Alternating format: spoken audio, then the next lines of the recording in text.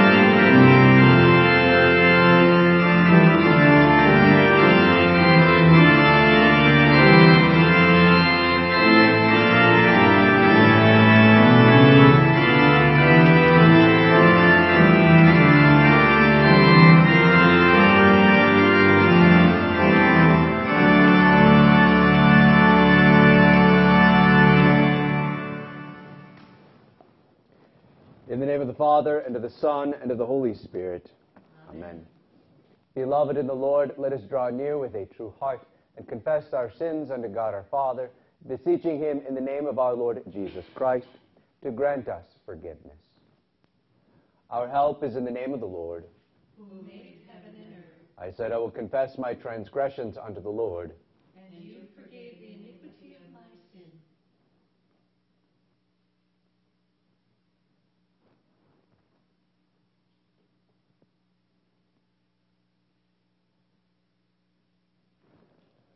O Almighty God, merciful Father, I, a poor, miserable sinner, confess unto you all my sins and iniquities, with which I have ever offended you, and justly deserve your temporal and eternal punishment. But I am heartily sorry for them, and sincerely repent of them.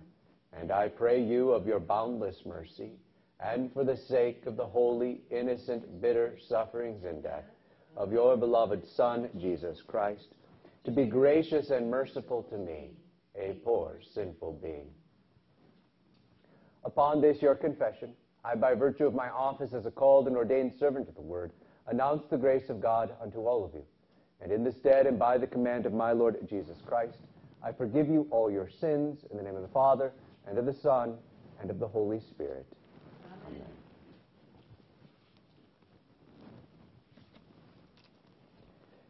Thus it is written that the Christ should suffer and on the third day rise from the dead, and that repentance and forgiveness of sins should be proclaimed in his name to all nations, beginning from Jerusalem.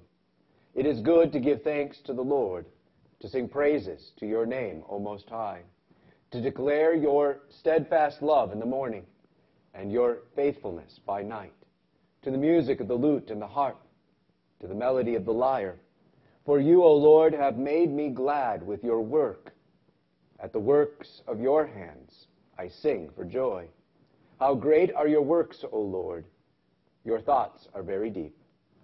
Glory be to the Father, and to the Son, and to the Holy Ghost, as it was in the beginning, is now, and ever shall be, world without end. Amen. Thus it is written that the Christ should suffer and on the third day rise from the dead, and that repentance and forgiveness of sins should be proclaimed in his name to all nations, beginning from Jerusalem. Lord, have mercy upon us. Christ, have mercy upon us. Lord, have mercy upon us. Glory be to God on high, and on earth peace, goodwill toward men.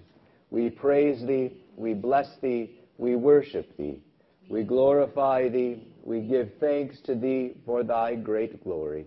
O Lord God, heavenly King, God the Father Almighty, O Lord, the only begotten Son, Jesus Christ, O Lord God, Lamb of God, Son of the Father, that takest away the sin of the world, have mercy upon us. Thou that takest away the sin of the world, receive our prayer. Thou that sittest at the right hand of God the Father, have mercy upon us. For thou only art holy, thou only art the Lord, thou only, O Christ, with the Holy Ghost, art most high in the glory of God the Father. Amen. The Lord be with you. With. Let us pray.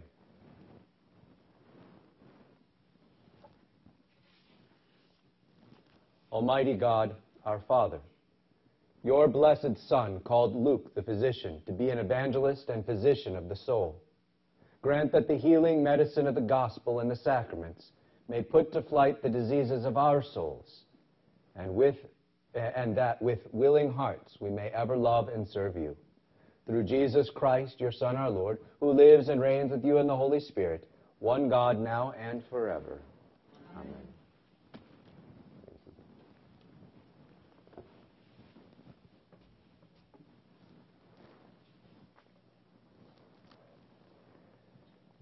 The Old Testament for the feast of St. Luke the Evangelist is written in the prophet Isaiah, the 35th chapter. Then the eyes of the blind shall be opened, and the ears of the deaf unstopped. Then shall the lame man leap like a deer, and the tongue of the mute sing for joy. For waters break forth in the wilderness, and streams in the desert. The burning sand shall become a pool, and the thirsty ground springs of water. In the haunt of jackals, where they lie down, the grass shall become reeds and rushes. And a highway shall be there, and it shall be called the, the way of holiness. The unclean shall not pass over it. It shall belong to those who walk on the way. Even if they are fools, they shall not go astray. This is the word of the Lord. Thanks be to God. The epistle is written in St. Paul's second letter to Timothy, the fourth chapter. As for you, always be sober minded, endure suffering, do the work of an evangelist, fulfill your ministry. For I am already being poured out as a drink offering, and the time of my departure has come. I have fought the good fight, I have finished the race, I have kept the faith.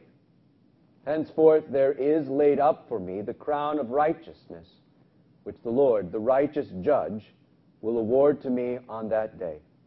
And not only to me, but also to all who have loved his appearing. Do your, do your best to come to me soon. For Demas, in love with this present world, has deserted me and gone to Thessalonica. Crescens has gone to Galatia, Titus to Dalmatia. Luke alone is with me. Get Mark and bring him with you, for he is very useful to me for ministry. Tychicus I have sent to Ephesus. When you come, bring the cloak that I left with Carpus at Troas, also the books, and above all the parchments. Alexander the coppersmith did me great harm. The Lord will repay him according to his deeds. Beware of him yourself, for he is strongly opposed, he, for he strongly opposed our message. At my first defense, no one came to stand by me, but all deserted me.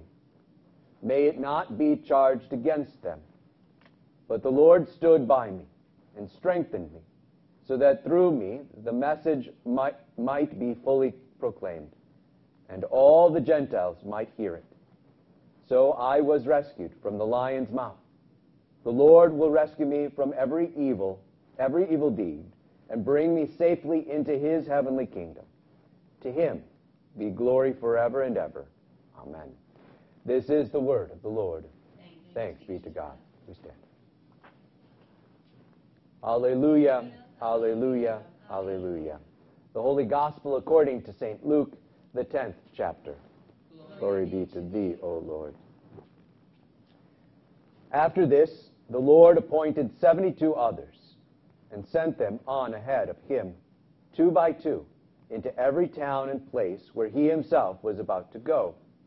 And he said to them, The harvest is plentiful, but the laborers are few. Therefore, pray earnestly to the Lord of the harvest to send out laborers into his harvest. Go your way. Behold, I am sending you out as lambs in the midst of wolves. Carry no money bag, no knapsack, no sandals, and greet no one on the road.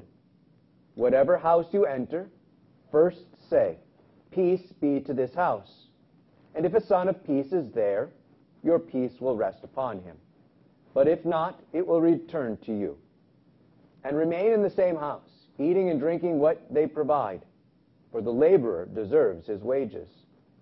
Do not go from house to house. Whenever you enter a town and they receive you, eat what is set before you. Heal the sick in it, and say to them, The kingdom of God has come near to you. This is the gospel of the Lord. Praise be to thee, O Christ. We confess our faith in the words of the Nicene Creed. I believe in one God, the Father Almighty, maker of heaven and earth, and of all things visible and invisible, and in one Lord Jesus Christ, the only begotten Son of God, begotten of his Father before all worlds, God of God, light of light, very God of very God, begotten, not made, being of one substance with the Father, by whom all things were made, who for us men and for our salvation came down from heaven, and was incarnate by the Holy Spirit of the Virgin Mary, and was made man, and was crucified also for us under Pontius Pilate. He suffered and was buried. And the third day he rose again, according to the Scriptures, and ascended into heaven, and sits at the right hand of the Father and he will come again with glory to judge both the living and the dead, whose kingdom will have no end. And I believe in the Holy Spirit, the Lord and giver of life, who proceeds from the Father and the Son, who with the Father and the Son together is worshipped and glorified, who spoke by the prophets. And I believe in one holy Christian and apostolic church. I acknowledge one baptism for the remission of sins and I look for the resurrection of the dead and the life of the world to come. Amen.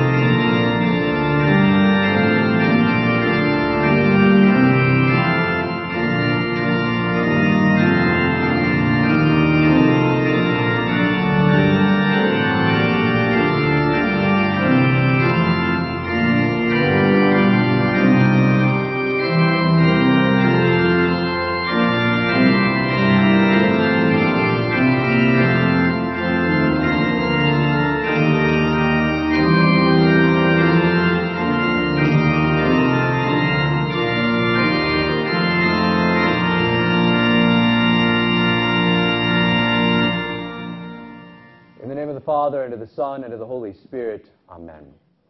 St. Luke is believed to be one of the 72 disciples whom Jesus sent out two by two to the towns and places where he was about to go. That is why the church has Luke 10 for the gospel for his feast day.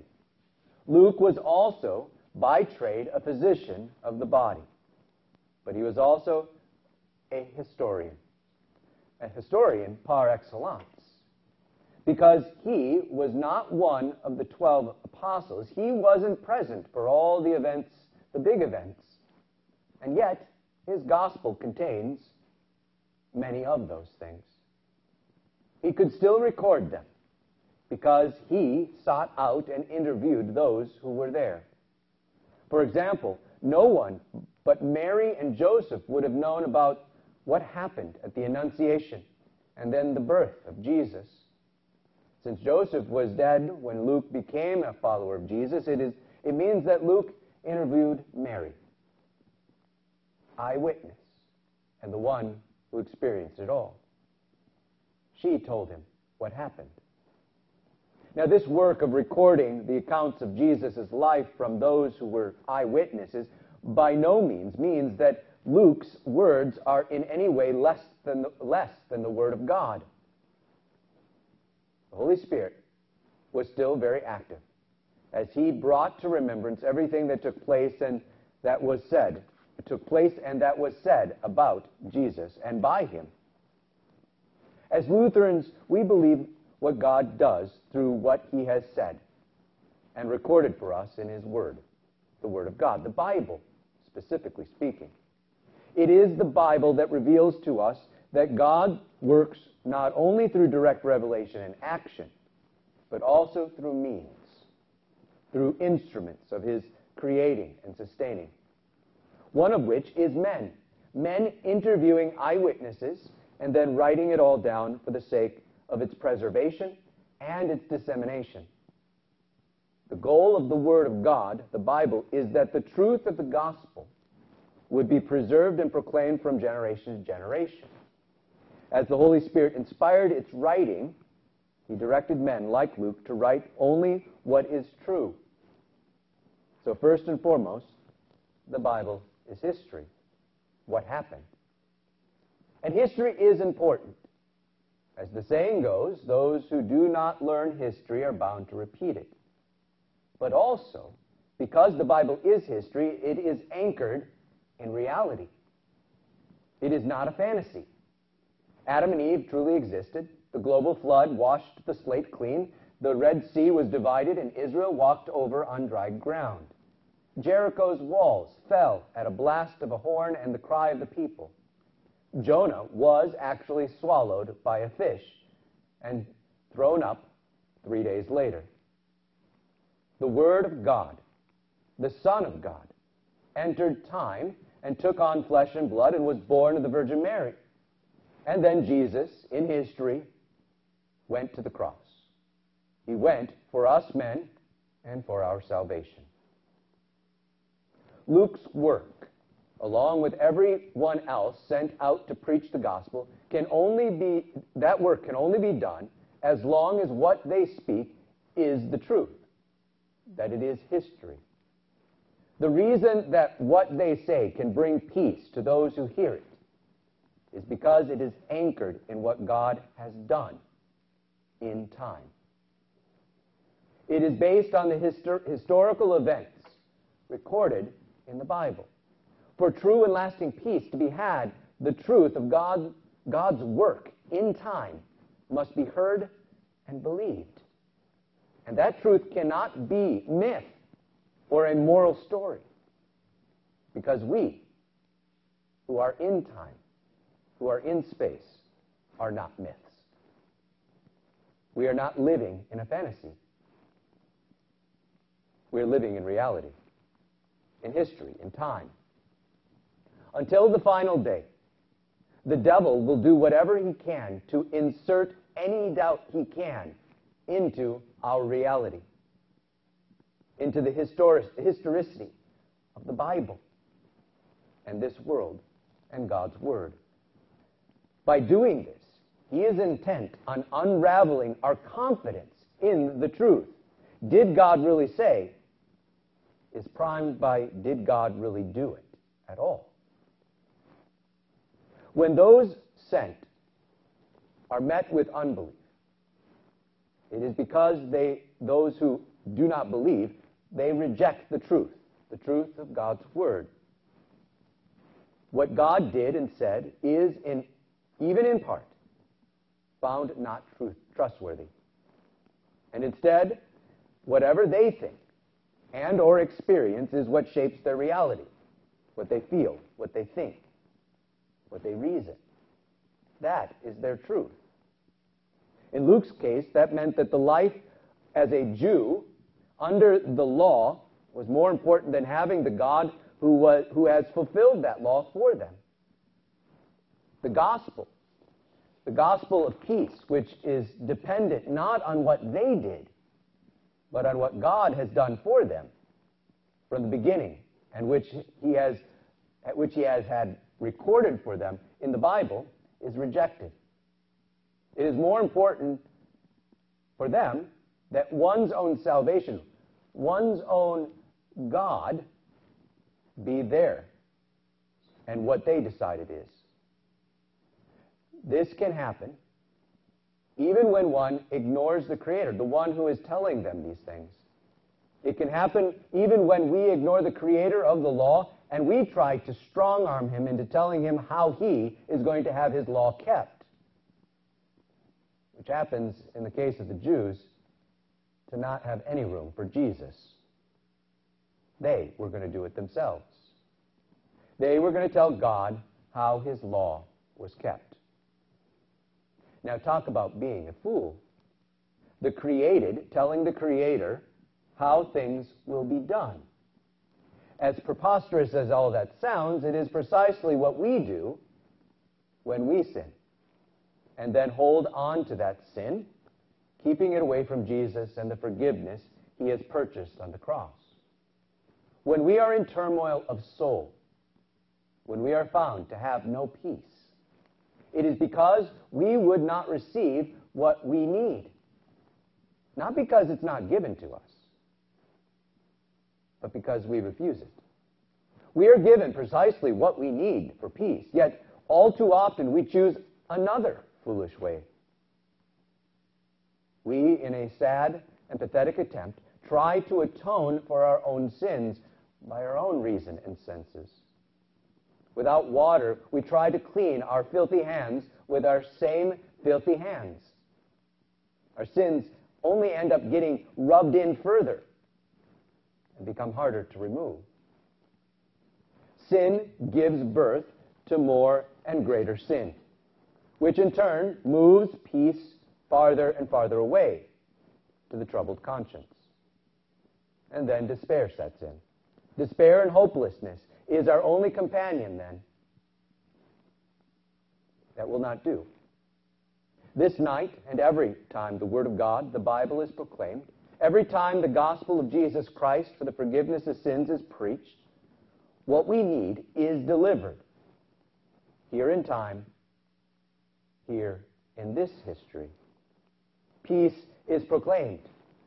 Believe it, receive it, for no matter how ingrained the sin, no matter how long you've tried to wash your own hands, no matter how far into the darkness we find ourselves today, the sent ones of Jesus, with the historic, true, and real work and word of Jesus, is proclaimed to you. Jesus is given to you. What is impossible for us in any way to accomplish, that holy law, is entirely done by the light of the Word. The light who shines in our darkness, who keeps that law perfectly in our place. And then he guides our feet on, into the way of peace. His way, His truth, and His life. What Jesus has done is true, and it is for you, for us. Whatever we have done is forgiven by His sacred divine blood. All that we owe, because of our grave transgressions, is paid for in full by Jesus and Him alone. We don't help. Whatever sin that blackens our hands and hearts is washed away by Him with holy water in our baptism. A baptism we remember each and every day as the words of Jesus, of what He has done, is preached to us by those who are sent. In remembering those holy waters and that baptism, the ratty rags of death are now replaced with the holy robes of righteousness. A righteousness that is not our own, but that is made ours. What is now seen by our Heavenly Father is not a sinner, but a saint, forgiven and covered in Jesus' righteousness, the one who does it for us. This is what makes for peace, is that we look not at ourselves, but we hear and see Him who lived and acted in history for us. When we have it and believe it, we have the perfect love, the one who drives out all fear. We have everything in Him, in Jesus. And if we have Him, worry, worrying about losing anything is removed. For we already have everything. We don't need to act as if we will lose out on something if we don't help or if we don't do it ourselves. No, in faith, having heard the word, we let Jesus do it for us, just as he always has done it for us from the very beginning. We let him make us whole. He chooses us, and he gives us himself. We hear his word of truth and find it sufficient. Sufficient, right where he has placed us in our given stations, in our own lives. God gives us his perfect word as a whole, law and gospel. And he gives it so that we might have peace, that we might have Jesus. When we divide the truth into parts, we lose the truth. So we get it whole. We need the whole counsel of God, just as God has given it to us in the Bible. No part is greater than another because it is all about Jesus, and it is Jesus for you. So hear him. Hear him from those who have been sent, including St. Luke. Receive him and have peace. Have forgiveness. Have life and salvation here, now, and forever. In Jesus' name. Amen. We stand for prayer. Now the peace of God that passes all understanding, keep your hearts and minds in Christ Jesus our Lord. Amen. Create in me a clean heart, O God, and renew a right spirit within me. Cast me not away from thy presence, and take not thy Holy Spirit from me. Restore unto me the joy of thy salvation, and uphold me with thy free spirit. Amen.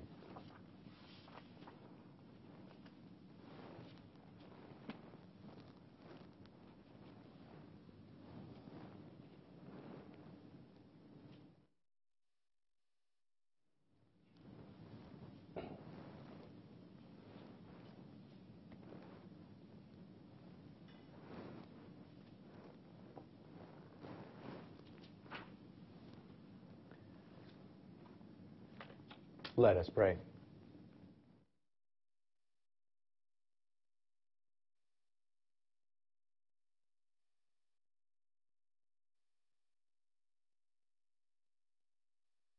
By the working of your Holy Spirit, keep us attentive to all the teachings of your word, enlighten our minds, control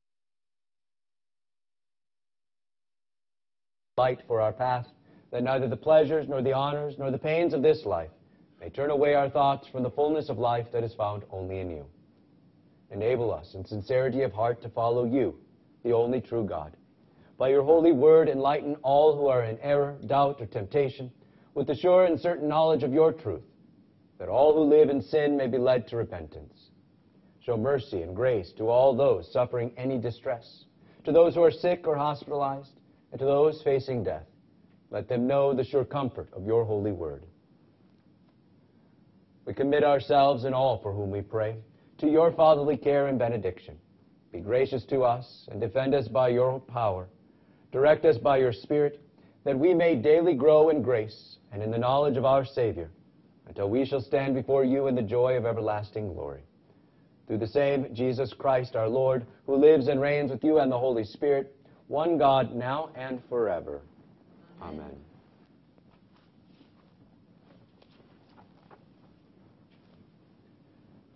The Lord be with you.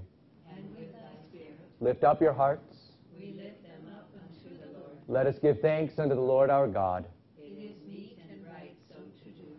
It is truly meet, right, and salutary that we should at all times and in all places give thanks to you, Holy Lord, Almighty Father, everlasting God.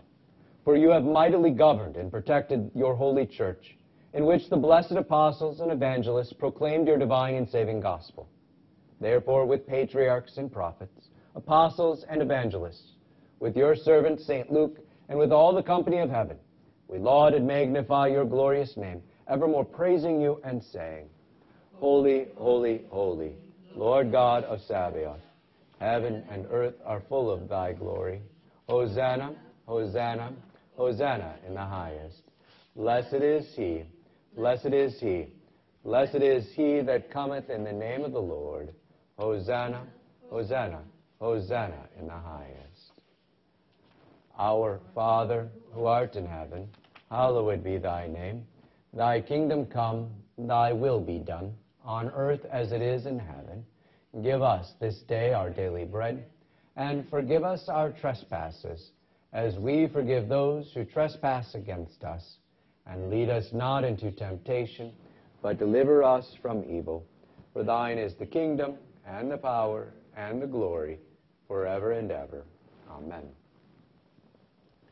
Our Lord Jesus Christ, on the night when he was betrayed, took bread. And when he had given thanks, he broke it and gave it to the disciples and said, Take, eat. This is my body, which is given for you. This do in remembrance of me.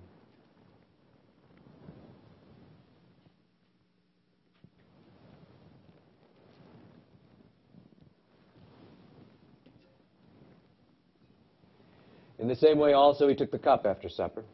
And when he had given thanks, he gave it to them, saying, Drink of it, all of you. This cup is the New Testament in my blood, which is shed for you for the forgiveness of sins. This do as often as you drink it in remembrance of me.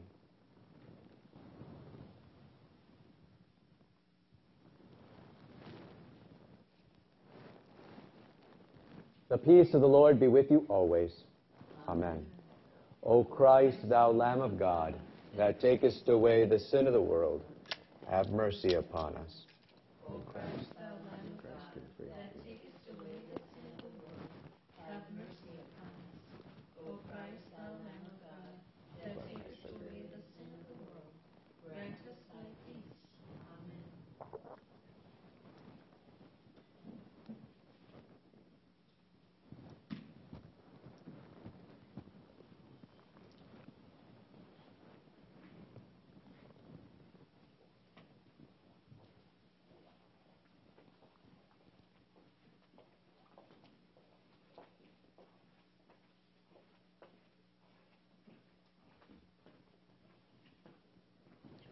Behold the Lamb of God who takes away the sin of the world.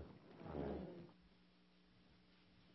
The body of Christ given for you. The body of Christ given for you. The body of Christ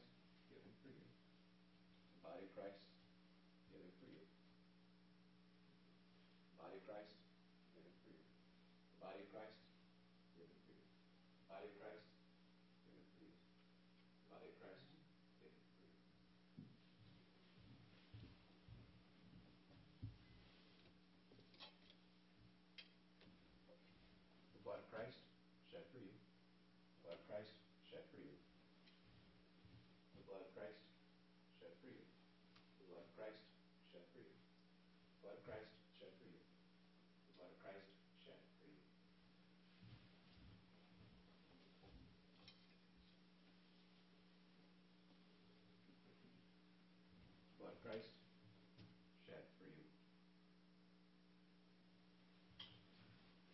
The blood of Christ shed for you. Now the true body and blood of our Lord and Savior Jesus Christ strengthen and preserve you in the one true faith throughout this life and the life to come. Depart in God's peace. Your sins are forgiven. Amen.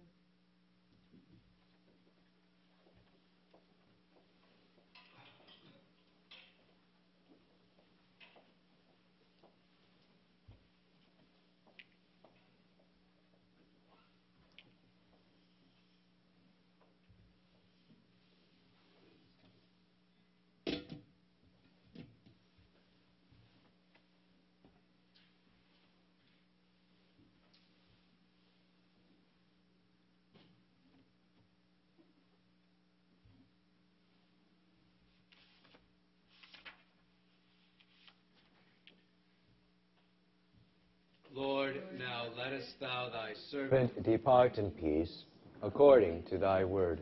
For mine eyes have seen thy salvation, which thou hast prepared before the face of all people, a light to lighten the Gentiles, and the glory of thy people Israel. Glory be to the Father, and to the Son, and to the Holy Ghost, as it was in the beginning, is now, and will shall be, world without end. Amen.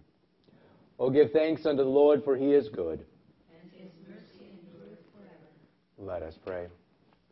O God, the Father, the fountain and source of all goodness, who in loving kindness sent your only begotten Son into the flesh, we thank you that for his sake you have given us pardon and peace in this sacrament. And we ask you not to forsake your children, but always to rule our hearts and minds by your Holy Spirit, that we may be enabled constantly to serve you.